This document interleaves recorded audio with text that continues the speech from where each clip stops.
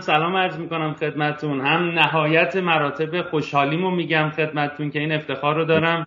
امروز در خدمت شما هم سالیان سال ما به طور مجازی شاگردی شما رو کردیم و لذت بردیم از نکات و آموزه های شما و خیلی خوشحالم که امروز این فرصت در اختیارمه که با شما این گفتگو رو انجام بدیم و مطمئنم برای خیلی از ماها پر از نکات نقض و حکمت آموزه. خیلی ممنونم باز ازتون که این گفتگو رو قبول کردیم و در خدمتتونم. بله. خیلی متشکرم از شما و از حسن زنی و نظر لطفی که نسبت به من دارید که اصلا مرا در خور یک همچین گفتگویی دونستید. چون من خودم واقعا نسبت به خودم یه همچین دیدی ندارم. ارز کنم که چون شما مسئله رو از ساحت نظری تا حد فراوانی انتقال دادید به ساحت عملی و به بحث های محسوس و ملموس و نه بحث های انتظایی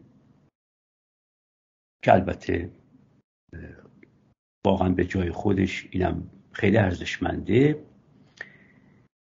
من در یک جای خطرناکی به این معنا قرار گرفتم. به جهت اینکه مجبور میشم که از خودم حرف بزنم و وقتی که از خودم حرف می‌زنم واقعا ممکنه لحن خودستایانه پیدا بکنه و خودم واقعا متعذی میشم آزار می‌بینم.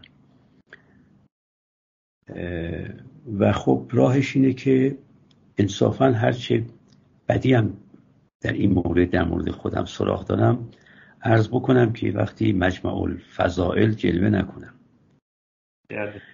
عرض کنم که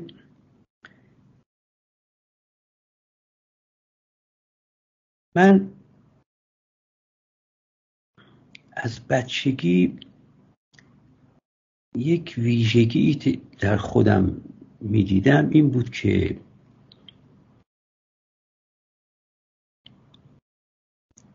خیلی بین خود واقعیم و خود آرمانیم خیلی از بچگی فاصله می‌دیدم. واقعا حالا الفاظ خود واقعی و خود آرمانی که خب اون زمان در واژگان من نبود. اما به هر حال این رو خوب به یاد میارم که مثلا سال اول ابتدایی هم که بودم دوم ابتدایی هم که بودم که خب یک بچه 6 7 ساله بودم همون وقت هم حافظم یاری می‌کنه که همیشه فاصله فراوانی می‌دیدم بین خود واقعی و خود آرمانی. و نمی‌تونستم فتیله اون خود آرمانی رو پایین بکشم و نمی‌تونستم فتیله خود واقعی رو بالا بکشم که اینا به هم نزدیک بشن. هنوز که هنوزه این حال در من وجود داره واقعا.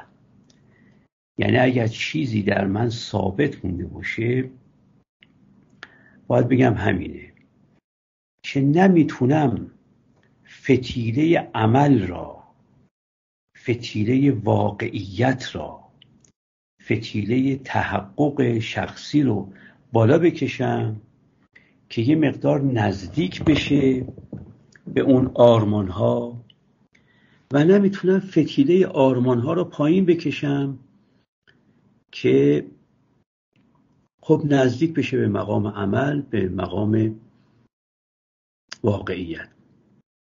من فکر می‌کنم کسانی در زندگی خوش زندگی می‌کنن البته تا حدی که امکان خوشی در زندگی این جهانی هست.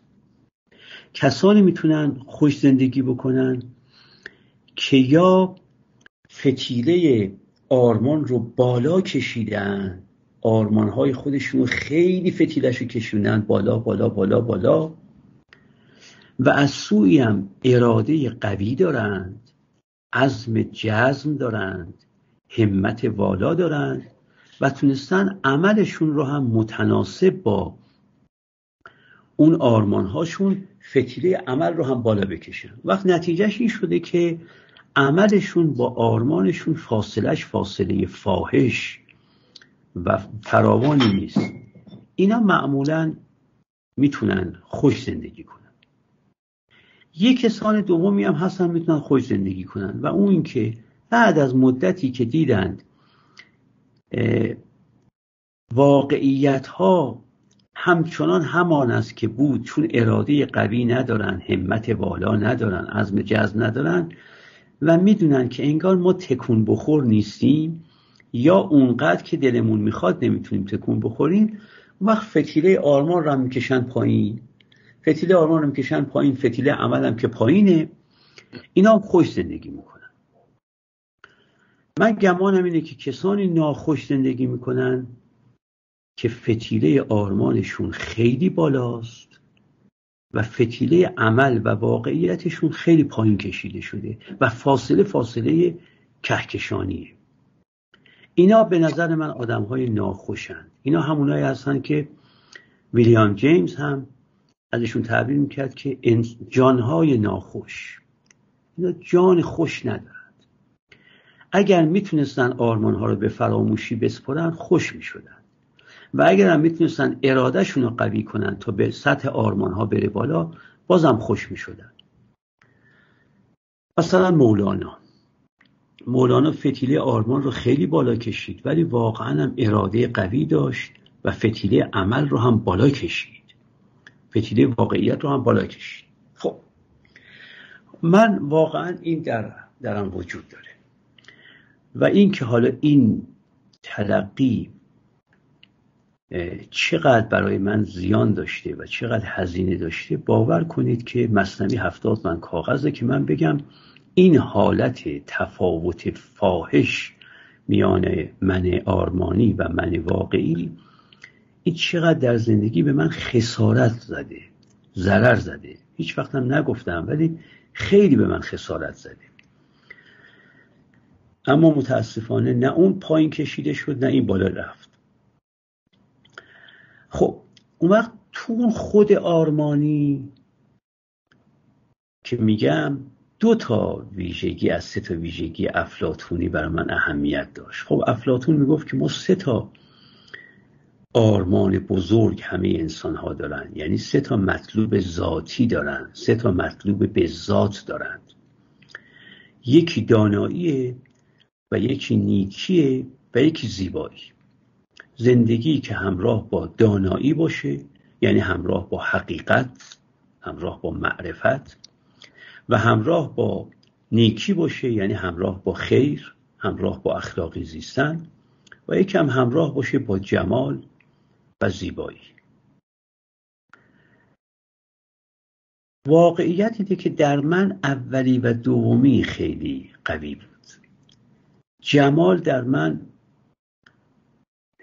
جمال دوستی هیچ وقت در من به اندازه حقیقت طلبی و به اندازه خیرخواهی قوی نبود. اینه که اون من آرمانی بیشتر یه آدم حقیقت طلب بود و خیرخواه و نه یک آدم هنرمند بزرگ.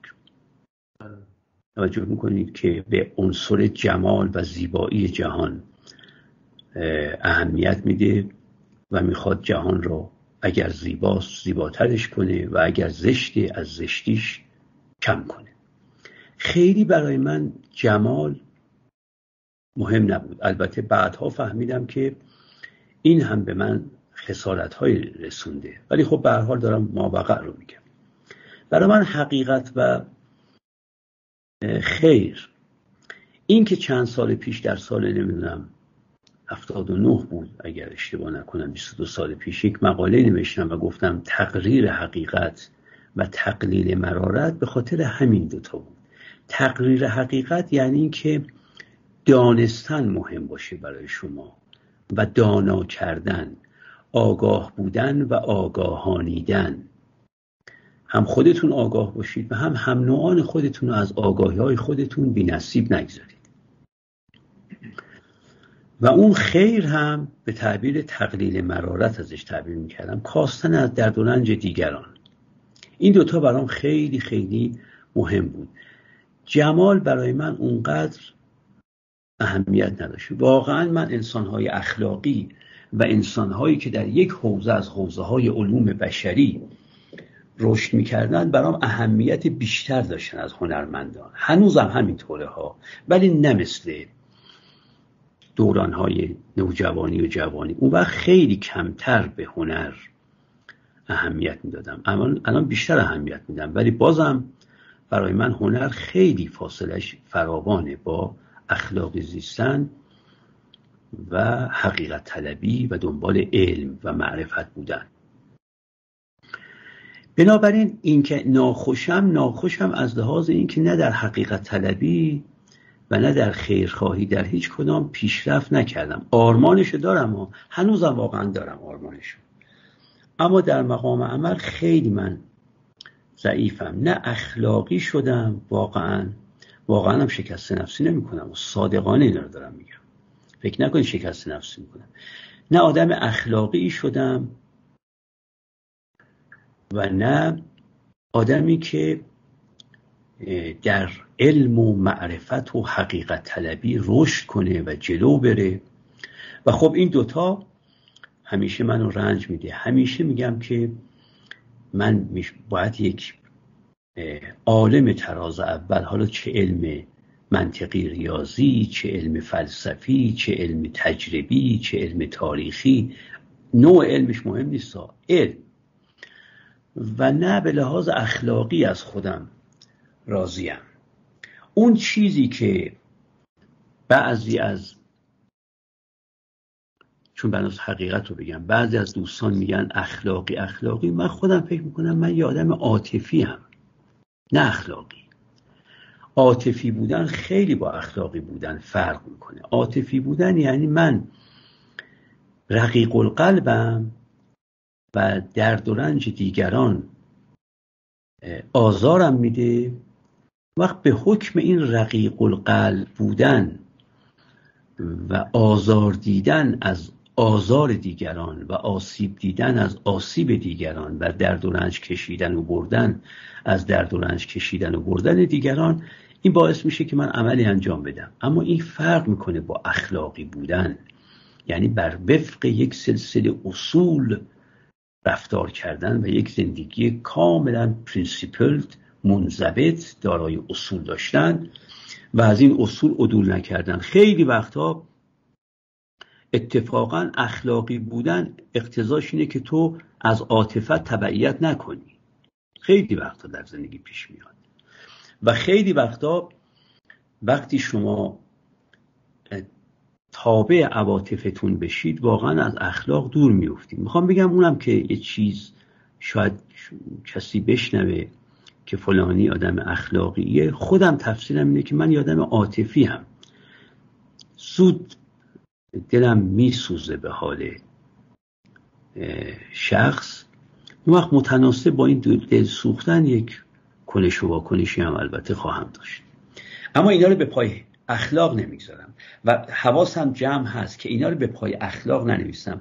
اگه می‌تونستم به پای اخلاق بنویسم که خیلی خوشتر از الان بودم. ولی چون می‌دونم اینا رو به خاطر نازک دلی که انجام میدم نه به خاطر اینکه احساس وظیفه اخلاقی دارم که این کار رو انجام بدم. خب این هست. خب حالا شما خواهید گفت که همه مباحث چه ربطی به معنای زندگی داره؟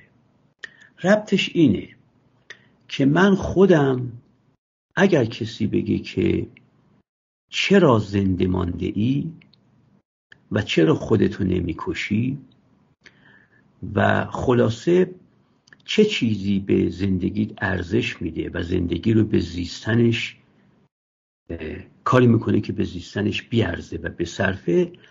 میگم به خاطر اینکه هنوز ناامید نشدم که در زمینه حقیقت طلبی یا خیرخواهی برسم به اونجایی که تو آرمانم هست. بنابراین ادامه حیات میدم به خاطر اینکه روزی روزگاری در جهت حقیقت طلبی یا در جهت خیرخواهی نیچخواهی جلو برم. این دوتاست واقعا در من. با اینکه تجربه 66 سالم الان به میگه که بابا به جایی نمی‌رسی. ده سال دیگه هم که اون بکنی همینه. ولی نمی‌دونم چرا امیدم رو از دست نمیدم اینه که برای خودم اینه. اگر کسی واقعا از سر سویدای قلب من بپرسه که چرا خودکشی نمی کنی در درجه اول بگم به خاطر اینکه هنوز امیدوارم که در این دو جهت بهتر بشه وضعم در جهت تقریر حقیقت یا در جهت تقلیل مرارت یعنی در جهت خیر یا در جهت ارز کنم که معرفت و حقیقت. حالا اینو منظم کنید به دو تا ویژگی دیگری که بنده دارم. ویژگی اول اینه که من خیلی به انسانها خوشبینم. من دیگه خیلی باید چیزهایی ببینم که دیدم منفی بشه نسبت به کسی. خیلی خوشبینم نسبت به انسانها. البته این خوشبینی نسبت به انسانها هم لطماتی به من زده و اونم نمی‌خوام وارد بحثش بشم ولی خیلی خوشبینم نسبت به انسانها. و اصل برام اینه که آدما خوبند آدمهای خوبی هند خوشباطنند خوش سریرند فلز و گوهر نیک دارند. این یکیه. خب وقتی این دیدارم داشته باشه اون وقت فکر می‌کنه که اکثریت قریب به اتفاق بدبختی های مردم تقصیر خودشون نیست. خب این دلسوزش به حال انسان ها بیشتر میشه. اگه آدم بدبین باشه به انسان ها میگه خب خلائق هر چه لایق. اون وقت میگه خب دیگه این بود اینم شد. اما وقتی شما خوشبین باشید به انسان ها و معتقد باشید که اکثر انسان ها خوشباطنن خوشنیتند و نادانی و جهل که اونا رو میکشونه نه سوء نیت نه سوء سریره نه خبس باطن نه بدذاتی. اینه که اینا رو کشونده به ارز کنم که این نوع زندگی کردن اون وقت نمی‌تونه بپذیره که پس آدمایی که حسن نیت دارن و فقط جهل دارن و جهلشون که باعث شده که زندگیشون خوب نباشه اینا انگار اینقدر در خور فلاکت و ادبار و بدبختی و فلک زدگی نیستن. این یک ویژگی که این منظم میشه به اون حقیقت طلبی و خیر خواهی یه ویژگی دومی هم که در من هست اینه که از بهتر شدن مردم معیوس نیستم هیچ و همیشه فکر می‌کنم فعالیت به قدر کافی اگه صورت بگیره آدم ها بهتر میشن. اینه که خیلی به مسائل فرهنگی اهمیت میدم و فکر می‌کنم که می‌شد وضع مردم رو بهتر کرد. خب حالا این دوتا ویژگی هم که به اون منظم بکنید می‌بینید که این هست که دلم می‌خواد اون به اون انسان آرمانی که در اون دو جهت گفتم برسم و نرسیدم. در باب خودکشی هم من یه مطلبی گفتم که می‌خواستم چون رشته کلامم قطع نشه. اونجا این نکته رو نگفتم. حالا که کلامم تمام شد این نکته رو بگم. ببینید واقعیت اینه که انسان فیلسوف مشرب انسان فلسفه ورز انسان اقلانی انسانی که زندگی همراه با اقلانیت داره این واقعا اگر دید که هزینه زندگیش بیشتر از فایده زندگیشه خب به این نتیجه باید برسه که خودش باید بکشه. اگر واقعا فایده زندگیش کمتر از هزینه های زندگیشه خب راهش خودکشیه. اما خیلی از ما خودکشی نمی کنیم ولو به این نتیجه هم برسیم خودکشی نمی کنیم این خودکشی نکردن سه تا باعث می‌تونه داشته باشه. یعنی آدمی که می‌رسد به این که من فایده زندگیم خیلی کمتر از هزینه های زندگیمه ولی بازم خودکشی نمی‌کنه این به یک این سه تا علت. یک علتش اینه که ممکنه منع ایدئولوژیک داشته باشه. یعنی به یک ایدئولوژی دل بسته است و پایبنده که اون ایدئولوژی خودکشی رو مجاز نمی‌دونه. این یک یه علت دوم اینه که ممکنه شجاعتشو نداره. آخه خودکشی شجاعت هم می‌خواد. خیلی کار شجاعانه است که آدم دست به خودکشی بزنه. و خود رو کشتن شجاعتش به نظرم از دیگری کشتن بیشتره.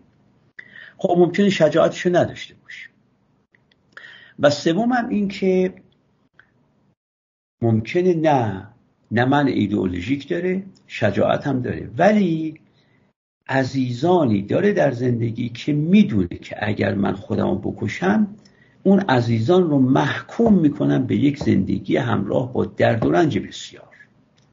وقت میگه من اگر زنده بمانم و درد و رنج بکشم ولی اون عزیزانم به درد و رنج مبتلا نشن بهتر از اینه که خودم رو با خودکشی آسوده کنم ولی عوضش عزیزانی رو من بندازم به درد و رنج دائم. من واقعا به منع ایدئولوژیکی خودکشی قائل نیستم اصلا معتقد نیستم به اینکه خودکشی از لحاظ اخلاقی در همه اوضاع و احوال عمل نادرستی. نه به این قائل نیستم اما دومی و سومی در من خیلی موثره. یعنی هم شجاعت خودکشی رو ندارم اگر هم به این نتیجه می‌رسیدم که خودکشی باید کرد و فائلی زندگیم کمتر از هزینه های زندگیمه و هم هم این که خب عزیزانی دارم که نمی‌تونم بگم که خب خودتو آسوده میشی اونا به درد و رنج میفتن مشکلی نداره. تو خودتو آسوده کن نمی‌تونم. میگم حالا آدم درد و رنجی بکشه ولی عزیزانش اینا آسوده خاطر باشن و آدم در کنارشون باشه بهتره. این خدمت ارز کنم که معنای زندگی از دید خود من. خب البته با این تلقی که من داشتم خودتون متوجه شدید که من معنای زندگی رو یک امر کشف کردنی نمی‌دونم. یک امر جعل کردنی می‌دونم. یک امری نیست که ما وجود داره و ما باید اکتشافش کنیم. نه وجود نداره. باید اختراعش کنیم. و من اینجوری اختراع کردم برای خودم که به نظرم میاد حقیقت و خیر اینا چیزهایی که می‌تونن یک انسان رو به طرف خودشون بکشونن و نوید زندگی بیشتر و بیشتر رو بهش بدن. ولو مثل خود من باشه که بعد از 66 سالم می‌بینه که به هیچ کدوم دوتا نرسیده. ولی خب این هست. استاد چقدر چقدر پر از نکات جالب بود فرمایش شما. حیفم میاد تا اینجا رو اگر اجازه بدین برداشت خودم و جنبندی رو ارز کنم خدمتون و دیگه دوتا نکته کوچیک بعد بتونیم باز بیشتر در خدمتون باشیم. اولا چقدر جالب شما به جعل معنا معتقدین یعنی معنایی به, به عنوان یک چیز خارجی در زندگی وجود نداره که ما باید بگردیم و اونو کشفش کنیم. معنای زندگی هر کسی مبتنی بر اون چیزی که برای اون اهمیت داره و احتمالا برای اون مهمتره جعل کردنی و ساختنی است و شما این معنای زیبای حقیقت طلبی و خیرخواهی رو انتخاب کردین و جالبه که سر نخاش از کودکی با شما همراه بوده. یعنی شما میفرمایید که از کودکی این دوتا پررنگ بوده و پررنگتر هم شده. و یاد میفرمودین اولا چقدر جالب بود که این پاسخ من خیلی دوست داشتم این سوال ازتون بپرسم به تبع اون سوالی که ویلدوران تو کتاب معنای زندگیش از خیلی از اندیشمندان پرسید که آقا واقعا اگه کسی اومد تو خیابون به ویلدوران گفت آقا چرا من نباید خودم الان بکشم؟ ویلدوران میگه من دیدم یه سری توضیحات دارم واسش بگم ولی حرف درست حسابی ندارم بزنم. و خب نامه نوشت به چندین تا از بزرگان عصر خودش و پاسخهای جالبی هم دریافت کرد. چقدر این پاسخ جالب بود برای من که اولا سه تا مانع شمردیم که خیلی جالب بود در بحث اینکه هم معنای زندگی کمک می‌کنه که ما اصولا نیازی نبینیم به خودکشی و اگر اون معنای زندگی مقدار انقدر ضعیف بشه که ما دیگه به اون دلیل نتونیم به زندگی ادامه بدیم احتمالا سه تا مانع داریم برای اینکه خودکشی نکنیم که چقدر جالب و بجا بود نکاتی که فرمودید. استاد من یاد این نکته گلسر میفتم شما فرمودین که فیتیله خود آرمانی با فیتیله خود واقعی. خیلی جالبه که گلسر هم همینو میگه. میگه انسان ناخشنود زمانیه که فاصله بین خواسته و داشتش زیاد میشه و این ناخشنودی ایجاد می‌کنه و چقدر سو بود با فرمایش شما که وقتی خواسته ما با داشته ما ترازو به هم می‌خوره من ناخشنود میشم. دقیقا همینجوره. بعد من فرمایش شما رو که گوش می‌کردم دیدم خب ترازوی شما رو اگه بخوایم نگاه کنیم شما در کمال فروتنی میفرمایین که تو کفه داشته چیز زیادی خودتون نمی‌بینین. ولی واقعا ما که حالا بنده خیلی زی صلاح نیستم برای ارزیابی چون انقدر انسانهای متخصصتر و دقیقتری از من ارزیابی کردن کارنامه عملی و فکری شما رو که نیازی به تایید بنده نیست. ولی من داشتم پیش خودم نگاه می‌کردم. این ترازو رو که من نگاه می‌کنم کفه داشتش که خیلی پره. یعنی من به جرأت بگم اگر در حالا من آدم خیلی اهل مطالعه نیستم ولی در حدود کمی بالاخره مطالعه فلسفی داشتم دانشگاه رفتم مطالعه کردم.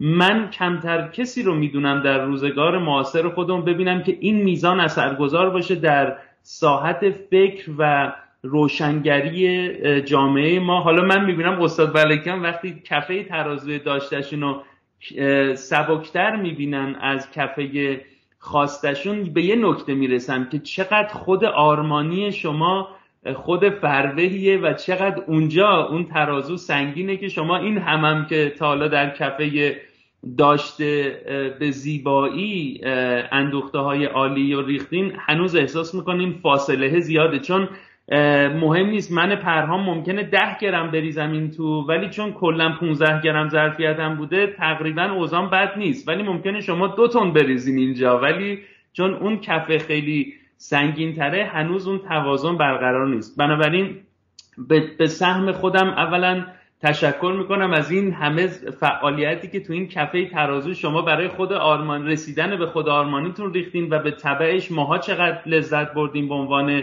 انسانهای پیرامون شما و یاد گرفتیم و چقدر می‌تونم لذت ببرم از اینکه این خود آرمانی در چه جایگاهیه که استاد ملکان انشالله با عمر درازی که خدا عطا کنه بهشون سالیان سال هنوز مطلب دارن بریزن تو این کفه تا اونو به اون نزدیک کنن و بای پروداکتش خلاصه برای ماهاست که می‌تونیم لذت ببریم از این فعالیت های ارزشمند شما برم. یک نکته راجع به فرمایش شما عرض بکنم ببینید من یک بار فرض کنید که میام از یک مسیری بگذرم ببینم که شما دارید بنایی می‌کنید و ببینم که یک دیواری رو دو متر برده بالا. و من نیست دیوار دو متری. خیلی جالبه. من کارنامه شما رو خیلی موفق ارزیابی می‌کنم. و میگم که خب یک دیوار دو متری بردن بالا. و واقعا هم در موفق ارزیابی کردن از منظر خودم برحقم اما خود آقای پرهام پیش خودشون میگن که بله ملکیان درست میگه بالاخره دو متر این رفته بالا. ولی ملکیان نمی‌دونه که اگر من تنبل نبودم این پنج متر رفته بود بالا. درست میگه. آدم داوری که در باب خودش می‌کنه با داوری دیگران اینه. داوری دیگران در باب چیزی است که تو داری. داوری آدم در باب خودش نسبت چیزی که داری به چیزی که می توانستی داشته باشی. درست. اینه. این فرق می‌کنه. این که شما میفرمایید حالا فارغ از اینکه البته نظر لطف شماست و حسن زن شماست به من این که تو شما میفرمایید که تو مصطفی این ارز کنم که داشته ها رو داشتی شما دارید داشته رو می‌بینید. من دارم نسبت داشته رو به آنچه که ندارم و می‌توانستم داشته باشم. این نسبت سنجی می‌کنم؟ وقت می‌بینم من ناراضیم از کارنامه خودم ولی شما به نظرتون میاد که کارنامه خوبه. به طور کلی دارم عرض می‌کنم راجع به شخص خودم نیست. شما هم همینطوری. من وقتی کارنامه شما رو می‌بینم میگم چه شخص موفقی ولی ممکنه خود شما ممکن البته نه لزوما ولی ممکنه. ممکنه خود شما بگید که بله مصطفی چاپلوسی منو نمی‌کرد. واقعا هم این چیزی که من بهش رسیدم رو مصطفی ارزیابی درستی داشت. ولی مصطفی خبر نداره که من پرهام به کجاها می‌تونستم برسم. ولی بر اثر یا تنبلی یا مدیریت بر زمان نداشتن یا تحت تأثیر جاذبه ها و دافعه های اجتماعی قرار گرفتن. به یکی از این سه تا علت یا دو تا از این سه تا علت یا سه تا از اون علت من بله دیوار رو دو متر آوردم بالا ولی من این دیوار می‌تونستم هفت متر برده باشم بالا. ملکیان دو متر که میگه درست ارزیابی می‌کنه ولی من پرهام می‌تونستم هفت متر این دیوار رو ببرم بالا. آدم یا بر اثر تنبلی که بیشتر بازش تعبیر کرد به سستی اراده ضعف اراده. یا بر اثر مدیریت نداشتن بر زمان کسانی هم هستن دائما دارن کار می‌کنن ولی مدیریت بر وقت ندارن. و یا بر اثر اینکه جاذبه ها و دافعه های اجتماعی نمی‌گذاره که به کار خودشون مشغول باشن. یه روز جاذبه ثروت شما رو از مجرای روانشناس شدن می‌کشه بیرون. یه روز جاذبه شهرت یه روز جاذبه قدرت. یه جاذبه هایی نمی‌ذارن که شما که مثلا معموریت خودتون و رسالت خودتون رو فرض کنید روانشناسی یا فلسفه یا نقاشی دونسته اید نمی‌ذارن شما همیشه دست در آغوش اون نقاشیتون بمونید. دست در آغوش اون فلسفه یا دست در آغوش اون روانشناسی بمونید. حالا گاهی جاذبه های اجتماعی هن که اگر نقاشی رو ول کنی مصطفی حقوقت ماهی فلان میشه ها. اگر فلان بکنی شهرتت فلان میشه. گاهی وقتا تحت تاثیر دافعه های اجتماعیه. جاذبه اجتماعی هم نیست. مادرم میگه که مادر من راضی نیستم اگر تو بخوای بری دنبال نقاشی. وقت این سه تا عامل یعنی مسئله تنبلی یا مسئله سوء مدیریت بر زمان و یا مسئله جاذبه ها و دافعه های اجتماعی که خیلی آدم رو از خود آرمانیش دور می‌کنن ولی خب وعده بهش میدن. میگن دنبال خود آرمانیت بری فقیر میمونی یا؟ دنبال خود آرمانیت بری گمنام میمونی یا؟ دنبال خود آرمانیت بری محبوبیت کسب نمی کنی سلبریتی نمیشی. خب آدم میده. اینه که من فرمایش شما رو حالا خب فارغ از اینکه البته شما خیلی نسبت من حسن زن من اینو نفی نمی کنم اما خودم می‌دونم که من می‌تونستم بیشتر از این کار بکنم و به خاطر هر سه تا عاملی که اتفاقا الان گفتم هر ستش هم در من مؤثر بوده و اینه که نه از خودم واقعا راضی نیستم و می‌دونم که هرچی به پیری بیشتر نزدیک میشم و هرچی به مرگ نزدیکتر میشم این حالت بر در من بیشتر هم خواهد شد. چون دیگه آدم در سن من با خودش درواسی نداره. کارنامهش هم تقریبا دیگه معلومه. و بعدم یه وقتی کسی یه کارنامه بهش میدن میگن که تجدیدی شده ایش هشت ماه دیگه می‌تونی بیای امتحان بدی شاید ما قبول بشی. یه وقت هم حالا کارنامه رو بهتون میگم یعنی فردا صبح امتحان تجدیدی برگزار میشه. دیگه آدم می‌دونه که تو این تا فردا صبح هم کاری نمی‌تونه بکنی من کسی هم که ورقه تجدیدی ما بهم دادند و بعدم گفتن فردا صبح تا فردا صبح که من کاری نمی‌تونم بکنم چون جاده پیش روم کوتاهه. برخلاف کسی که جوانه که جاده پیش روش طولانی وقت به این دو علت یکی به این علت که آدم کارنامه رو دیگه می‌بینه تقریبا. و یکی هم به این علت که می‌بینه فرصت جبران هم خیلی کمه. این حالت در آدم یا در کسی مثل من البته تشدید خواهد شد. ولی خب به چون بنابراین بود که من واقعیت رو بگم خدمتتون اینو خدمت شما عرض کردم و واقعا هم هیچ شکست نفسی نکردم. یعنی عین واقع رو میگم. اگر از کسی از من پرسه که تو از زندگی خودت راضی هستی میگم از مسیری که در پیش گرفتم خیلی راضیم. اما از اینکه کم توی این مسیر جلو رفتم ناراضیم. واقعا از مسیری که جلو در پیش گرفتم راضیم. یعنی من به نظرم میاد فلسفه و روانشناسی اینا بیشترین خدمت رو به بشریت می‌تونن این دوتا علم بکنن. و بنابراین از مسیری که در پیش گرفتم که رشته اصلی فلسفه بوده در حاشیه‌اش هم روانشناسی کار می‌کردم از مسیر خیلی راضیم. اما در این که در این مسیر خیلی جلو نرفتم نه.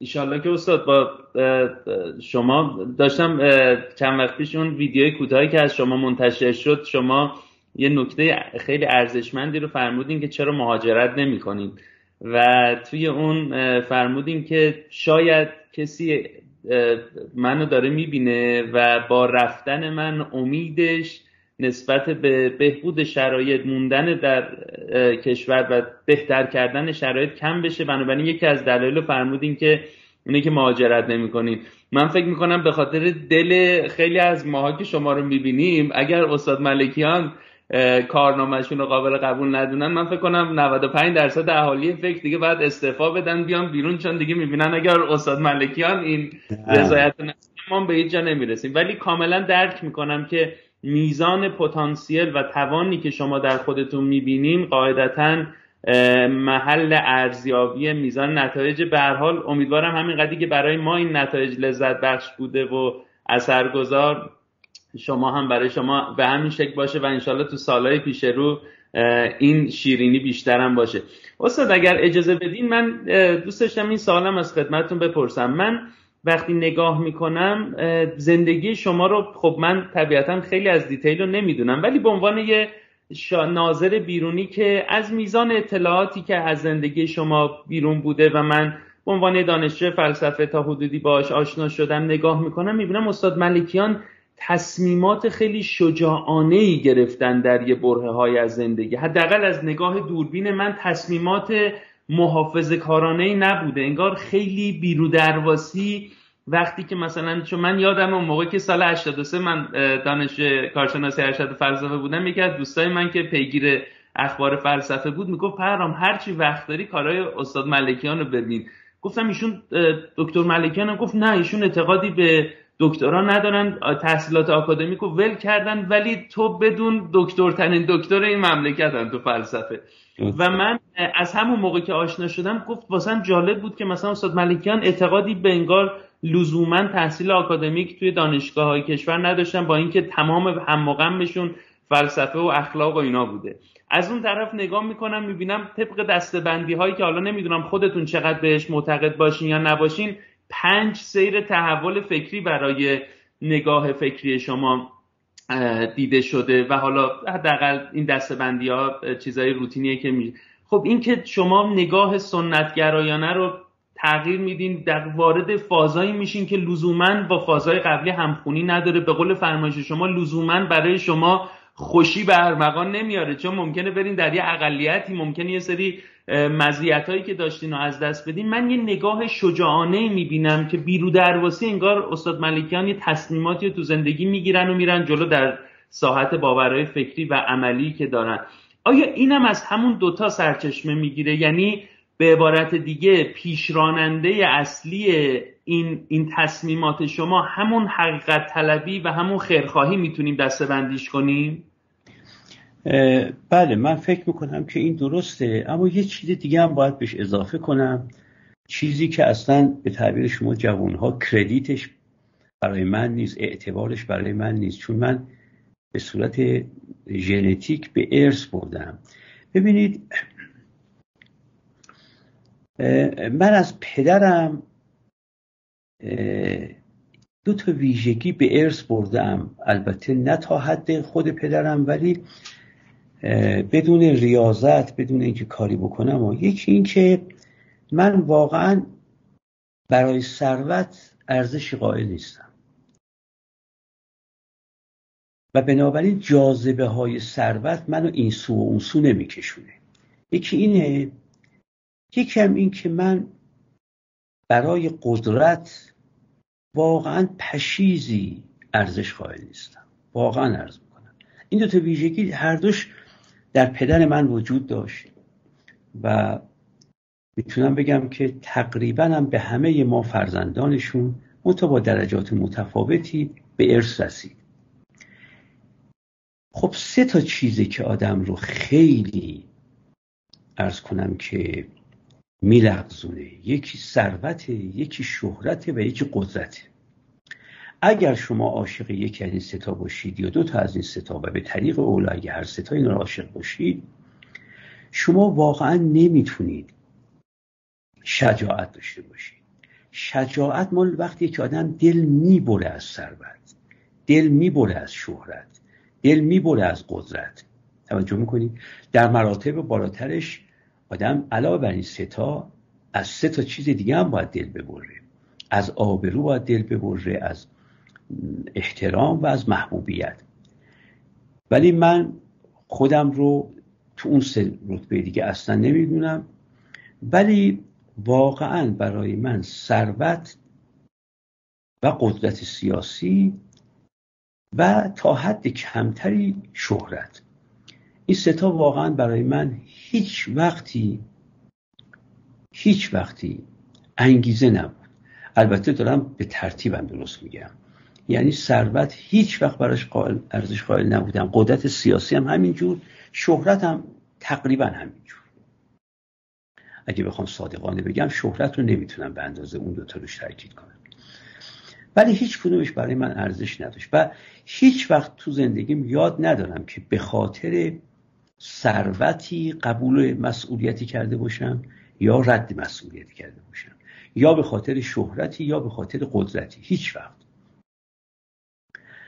و واقعا هم قدرت رو اگر می‌خواستم زمینه هاش خیلی وجود داشت برای من قدرت سیاسی منظورمه و هم ثروت و هم شهرت. خب این ستا وقتی نداشتم آدم رو شجاع می‌کنه چون خیلی از این که ما شجاعت نداریم به خاطر که میترسیم که خب حالا اگر دست به این اقدام بزنم یا ثروتی که ندارم و نمی‌تونم به دست بیارم یا ثروتی رو که دارم از دست میدم.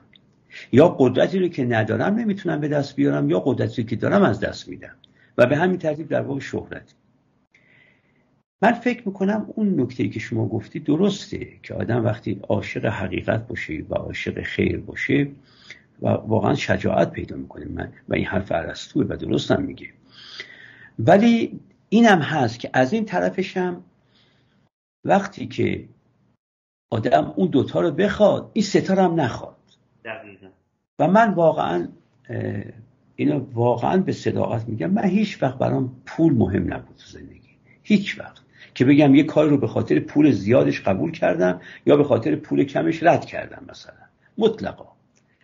قدرت هم همینطور قدرت هم هیچ وقتی برای من سر سوزنی انگیزه نداشت. من بارها به دوستانم گفتم که اگر بدون هیچ گونه تنشی بدون هیچ گونه استراب و تشویشی بدون هیچ گونه دلنگرانی بدون رقابت بدون بیان کلید ریاست جمهوری بزنم مجانا در اختیار من.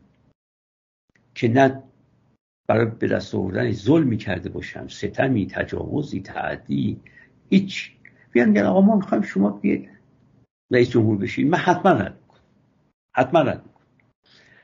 خب اینا هم به نظر من موثره و اینا رو البته من از پدرم به ارث بردم یعنی و می‌خوام بگم هیچ ریاضتی هم من نکشیدم. پدر منم اینجور بوده البته پدر من خیلی خیلی بالا, بالا رتبه تر از من. در این جهات بودن و اینم کمک کرد به من. من واقعا یه وقتی بود که در حوزه آقای مصباح یزدی اون وقت می‌گفتن که در یه جمعی از طلاب بیش یک بار هم یک بار خودم بودم یکی دو بار هم گفتم. مثلا می‌خواستن منو اصفه تلقی بکنن می‌گفتن که این آقا آقای ملکیان ده سال اومده تو حوزه پنج سال دیگه هم مجتهد جامعه و شرایط. می‌تونستم اگه تو اون روال می‌خواستم برم می‌تونستم. باور کنی یک بار که خودم بودم یکی دو بارم گفته بودم. می‌خواستن بگن طلاب چرا درس نمی‌خونید؟ چرا جدی نیستی چرا متعهد نیست گفتن ای آقای ملکیان ده سال اومده تو حوزه. پنج سال دیگه هم مجتهد. جامعه شرایط. ولی خب نرفتم من. قدرت هم همینجور بوده. یعنی من اگه اهل قدرت بودم واقعا جاش برام بود. خب این اینا به نظر من کمک می‌کنه. و یعنی میشه اینجوری فهمیدش. اون اون حقیقت طلبیه و اون خیرخواهیه موتور محرک انگار این مسیر شما بودن. حالا ممکنه تو زندگی بنده کم و بیش اون موتوره باشه ولی ترمزایی از جنس اون محبوبیت ها از جنس اون ثروت طلبیه قدرت طلبیه مانع بشه. شما میفرمایید که علاوه بر اینکه این موتور باید باشه به شما جهت بده حرکت کنی قدرت بده که حرکت کنی یه ترمزایی هم نباید تو مسیر باشه که اونا برای شجاعت داشتن و زندگی اصیل داشتن. این ترمزا این ستا به همراه چیزایی که دیگه ای که شما فرمودین می‌تونه اون ترمز دقیقا همینطوره. دقیقا همینجوره. دقیقا حق بله. استاد اگر اجازه بدین نمی‌خوام شبم هست بیشتر از این اوقاتتون بشم. ولی این نکته رو از خدمت شما نپرسیم. خیلی ها هستن از صمیم قلب دنبال اینن که زندگیشون رو یک معنای دیگه ای بدن بهش. برای یه زندگی زیبا داشتن برای یک زندگی اصیل و ارزشمند داشتن دنبال چیزی از جنس معنان. حالا حتی اگر اون مدل PERMA ی سلیگمن هم در نظر بگیریم به هر حال تو اونم که تو authentic happiness صحبت می‌کنه یکی از پارامترها رو meaning می‌دونه برای زندگی. میگه به هر حال یه زندگی یک شادمانی درونی یه پایش معنا داشتنه. حالا بماند که همون غرقگی و موضوعات دیگه هم می‌تونه یه جوری مربوط به این باشه. اگر شما بخواین توصیه بفرمایید این همه سال تجربه این همه سال مطالعه این همه سال تحقیق در این زمینه ها برای کسی که بخواد زندگیش رو معنای زندگیش رو پیدا بکنه مأموریت زندگیش حالا بگیم بسازه به تعبیر دقیق تر و یک چیزی بسازه که براش کار بکنه و بعد از پنج سال پشیمون نشه از این مسیری که پیش رفته توصیه خاصی دارین استاد که بهمون بگین که چجوری بتونیم این معنا رو خلق کنیم برای زندگیمون که با ما فیت باشه و کمک کنه به زندگی زیباتر داشتن؟ ارز کنم که بله من فکر می‌کنم که آقای دکتر پنج نکته رو اگر ما بهش توجه بکنیم خیلی کمک می‌کنه برای اینکه بتونیم معنایی به زندگی خودمون ببخشیم بدهیم.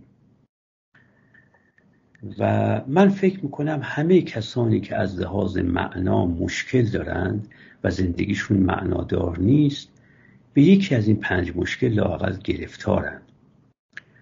مشکل اول اینه که باید از پیش پا برداریم.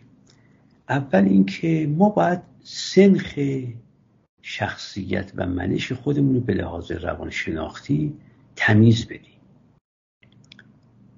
بالاخره بدونیم ما درونگراییم برونگراییم کنشگریم کنشپذیریم متفکریم احساسییم حسییم شهودیم قضاوتگریم دریافتگریم. همه این اینها رو بشناسیم. من اصلا نمیگم لزوما سنخ شخصیتی و منشیمون با طبقه بندی یونگ که حالا من اسمش بردم الان. چون این طبقه بندی که من گفتم یونگی بود. نه با طبقه بندی بودایی. چون بودا به طبقه بندی داره. با طبقه بندی آین هندو.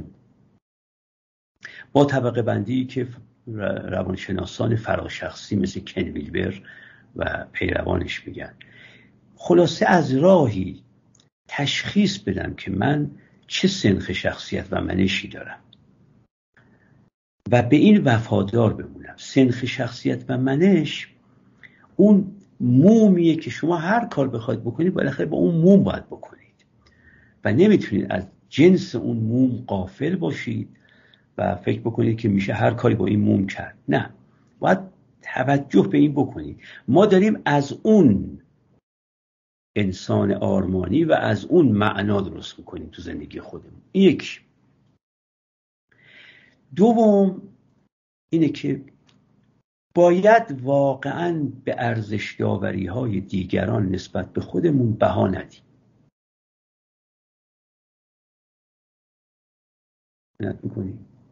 یعنی باید من مصطفی به خودم بگم که فلان کس.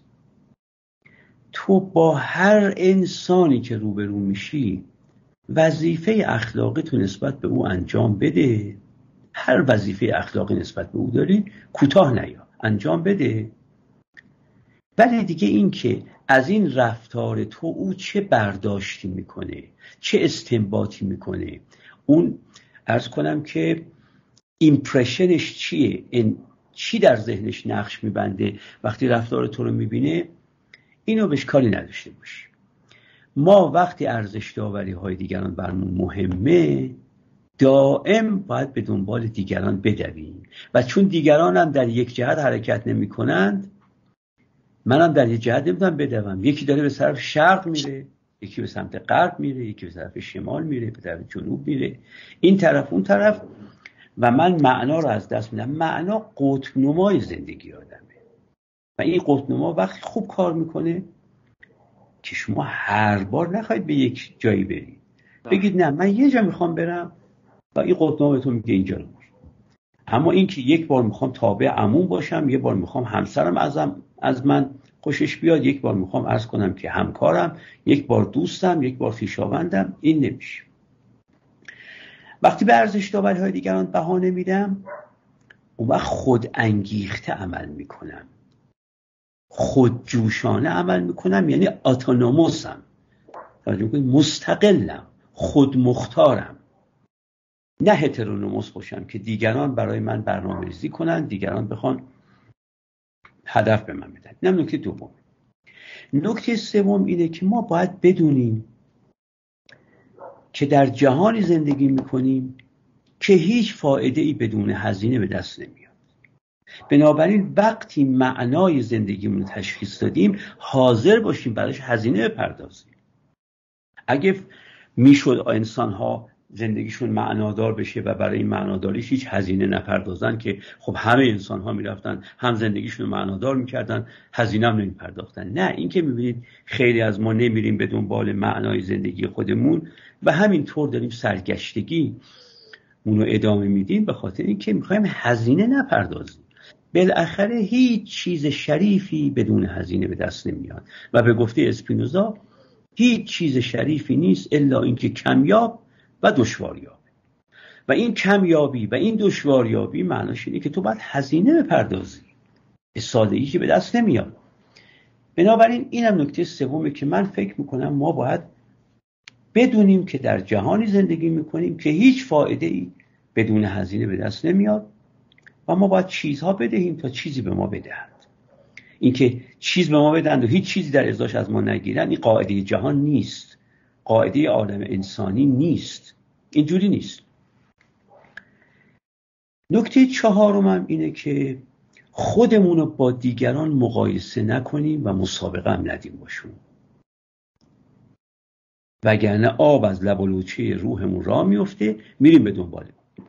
آدمایی که در مقام نظر و در عالم فکر دائما خودشون دارن با دیگران مقایسه می‌کنن و در مقام عمل هم خودشون با دیگران در حال مسابقه می‌بینند این مسابقه عملی و اون مقایسه نظری نمی‌ذاره برن به طرف معناشون. نمی‌ذاره برن. اینت می‌کنی؟ اینم یکی. و نکته پنجم این که آدم باید از خطا کردن نترسه اگر شما از خطا کردن ترسیدید از جاتون تکون از خطا کردن نترسم به این معنا که بگم آقا من معنای زندگیم رو در این می‌بینم. یه کسی بهتون میگه که خب پنج سال دیگه ممکنه بفهمی اشتباه کرد بگید بسیار خوب. هر وقت فهمیدم اشتباه کردم جهتم عوض ما باید نترسیم شجاعت داشته باشیم و, و اگر نه اگر شما گفتید که آقا من باید یه معنایی در زندگیم بیابم که یقین داشته باشم تا بستر احتضارم هم این معنا همچنان برای من جذابیت داره خب شما معنا رو پیدا نمی کنید شما یه معنایی که الان با اون شرایط پیدا کردید برید دنبالش. یه وقت می‌فهمید بر اثر افزایش علمتون یا افزایش قدرت تفکرتون یا افزایش عمق فهمتون یا افزایش تجربتون. به واسطه ای که این چهار تا عامل می‌فهمید که معنای عمیقتری هم به زندگی میشه داد. خب از اون لحظه میرید دنبال معنی عمیقتر. اما اگر بگید نه این فکر رو همش اول باید بکنم هیچ وقت زندگیتون معنادار نمیشه. بنابراین حاضر باشید که بگید تا وقتی معنا رو جذاب می‌بینم در آغوش میگیرمش ولو بلغ ما بلغ. هر جا بخواد برسه یه وقتم اگه جذابیت معنا از دست رفت به دلیل که یک معنای عمیقتری در زندگی میافتم خب میرم دنبال اون اما اگه بگید من می‌خوام مرد باشم و قولش خب اگه بخواید مرد باشید و قولش وقت باید برید به دنبال معنایی که یقین کنید تا بستر احتضارم اون معنا برای شما جذابیت چه حفظ می‌کنه خب این یقین رو هیچ وقت پیدا نمی‌کنه. بنابراین شجاعت آدم باید داشته باشه که معنا رو در آغوش بگیره. وقتی هم که فهمید نه معنای عمیقتری در زندگی وجود داره خب اون معنا رو رها می‌کنه. تا وقتی هم نفهمیده به همین معنا التزام داره. اینایی که می‌خوان از اول عمرشون تا آخر عمرشون یه حرف بزنن اینا هیچ حرفی نمی‌زنن به نظر آدمی که حاضر باشه حرفش رو عوض کنه حرف می‌زنه. بله. بگه من اینو فهمیدم حقه. و این اون چیزی که من ازش تعریف می‌کنم به زندگی دماسنجی. من میگم زندگی دماسنجی یعنی این که دماسنج اگه بهش گفتی تو آقا داری دماسنج داری 17 درجه رو نشون میدی. تو مگه 6 ساعت پیش نمی‌گفتی 24 درجه و مگه تو 3 ساعت دیگه نمیگی 12 درجه؟ میگه بله. بله. من تابع گرمای بیرونم. من حالا نه گذشتم حالم رو در قید و بند قرار میده نه حالم آیندم رو در قید و بند قرار میده. بله من پنج ساعت پیش 24 درجه رو نشون می‌دادم. الان 17 درجه رو نشون میدم. هیچم ناراحت نیست. حالا هم که 17 درجه رو نشون میدم منو در قید و بند قرار نمیده که تا 10 ساعت دیگه بگم 17 درجه. ممکنه 5 ساعت دیگه بگم دما 12 درجه است. من تابع گرمای بیرونم. بنابراین نه گذشتم حالمو در قید و بند قرار میده که بگم من دیگه گذشته می‌گفتم 24 درجه باید تا ابد بگم 24 درجه. نه الانم آیندهمو در قید و بند قرار میده. این زندگی دماسنجی یعنی شجاعت تغییر داشته باش. وگرنه اگه شجاعت تغییر نداشته باشی میگی که خب من باید یه هدفی انتخاب کنم یک معنایی که تا ابد از بین نره. این معنا رو چجور می‌تونی پیدا کنی؟ نه تو همینی که الان میابی در آغوشش بگیر. وقتی گرمای آغوشش برات کم شد یه چیز دیگری اومد یه چیز دیگری در آغوش می‌گیری و به همین ترتیب. یاد اون بیت مولانا افتادم واسه تو داستان کنیزک که می‌گفت گفت معشوقم تو بودستی نه آن لی کار از کار خیزد در یعنی ما کارکی رو بکنیم تا یه کار بزرگتر تا یه پروژه ارزشمندتر دیده بشه. چاره ای نداره. حرکت کردن و به سمت اون چیزی که الان تشخیص میدیم حرکت کنیم. در حد توان هر موقع که دیدیم به قول فرمای شما زندگی دماسنجی داشته باشیم و شجاعت اینو داشته باشیم دمای جدید رو نشون بدیم. دقیقا.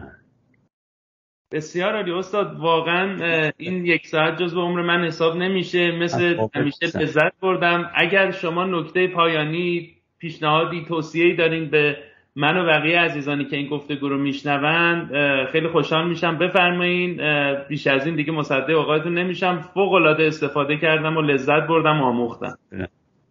قربونتون برم. من تنها چیزی که می‌تونم بگم اینه که اگر جهنمی وجود داشته باشه چیزی جز حسرت پشیمانی و غم نیست. بنابراین من باید همیشه تو زندگی اینو فکر بکنم که یه جوری زندگی کنم. که کمترین پشیمانی کمترین حسرت و کمترین غم آرزم بشه وگرنه باور کنید پشیمانی حسرت و غم از موهشترین صحنه هایی که از جهنم ترسیم کردن ترسناک داره بله. باور کنید بله. اگه آدم شبانه روز شکنجه ببینه ولی با خودش در آشتی باشه این باور کنید زندگیش قابل تحمل تر کسیه که با خودش در آشتی نیست و یا به خاطر اینکه حسرت زده است یا به خاطر اینکه پشیمانه یا به خاطر اینکه اندوهگین بنابراین من باید همیشه تو زندگی این سه تا ترازو رو بگم این کار رو که من می‌کنم این سبک زندگی که در پیش گرفتم این نحوه موضع گیری این نوع گفتار این نوع کردار مرا فردا به این ستا یا به دو تا از این ستا یا به هر ستا اینا دوچار نکنه. یه وقت نشه که ببینم خطای اخلاقی مرتکب شدم و پشیمان بشه. یه وقت نشه که بفهمم خطای محاسباتیمون مرتکب شدم و فرصت ها رو از دست دادم اون وقت حسرت زده بشه. و یه وقت هم نشه که ببینم چه آرمانی برای خودم تصویر کرده بودم در 20 سالگی. و حالا اون آرمان کجا؟ از دور شدم که اصلا آرمان رو نمی‌بینم. از بس این آرمان از من دور شده هرچی چشم میندازم و چشمم رو تنگ می‌کنم اصلا آرمانه رو دیگه نمی‌بینم. و غم منو بگید این که من خطای اخلاقی بخواهیم یا نخواهیم پشیمانی میاره خطای محاسباتی و فرصت رو از کف دادن این حسرت میاره و فاصله افتادن بین آرمان هایی که زمانی برای خودم تصویر کرده بودم و اونی که دارم برای من اندوه میاره اندوهگین میشم. این باور کنید بزرگترین جهنمیه که آدمی ممکن دوچارش بشه. و من فکر می‌کنم که این تنها چیزی که میشه گفت تا اونجایی که آدم در توانش البته هست. آدم هم خطای محاسباتی رو هر چقدر دقت بکنه آخرش می‌کنه. هم خطای اخلاقی رو هر چقدر دقت بکنه آخرش می‌کنه. و هم دور افتادنش از آرمان هر چقدر هم حواسش جمع باشه آدم در آناتی لحظاتی توی تصمیم گیری توی بزنگاه هایی در یه موقعیت هایی نه از آرمانش دور میفته ولی خب لااقل اینو به کمترین حد ممکن آدم برسونه. فوقلاده بود استاد فوقلاده بود. چقدر و امیر. بسیار بسیار ممنونم. استاد ملکان عزیز ایشالله خداوند 120 سال به شما عمر با عزت بده. شما چراغی که در عالم فکر و اخلاق این مملکت این پروژه زیبای اقلانیت و معنویتی که شما خیمش و برافراشین انشالله پر رونق و پرقدرت ادامه داشته باشه و جامعه ما با اون حسن زنی که شما میفرمایین امیدوارم که روز به روز به سمت این آگاهی به سمت مسئولیت پذیری به سمت معنویت و روشنایی و روشنایی فکر و دل هر دو پیش بره و انشالله ما از حضور عزیزانی مثل شما بیش از پیش استفاده ببریم. خیلی خیلی ممنونم از همه محبت که فهمیدیم خیلی ممنونم. قربونتون برم. موفق باشید انشالله قربون شما. بهترین رو براتون دادم قربونتون برم. خدا نگهدارتون. خیلی خیلی متشکرم. خدا نگهدارتون. ارادت.